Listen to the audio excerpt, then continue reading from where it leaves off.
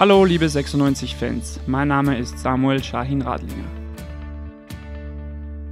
Mein Lieblingsort in Hannover ist ähm, zurzeit meine neue Wohnung. Da befinde ich mich gerade am meisten, weil ich die gerade wieder einrichte. Und ansonsten bin ich ähm, ja, gerne, gerne in der Stadt, ähm, ja, eher so im Zentrum. Mein Lieblingsreiseziel sind die Malediven. Mein größtes Hobby neben dem Fußball ist äh, mit Freunden treffen, essen gehen, äh, ein bisschen chillen, auch mal gerne zu Hause ein bisschen auf der Couch rumliegen.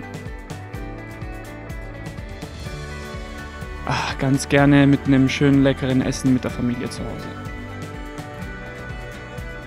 Mein Lebensmotto ist No Risk, No Fun.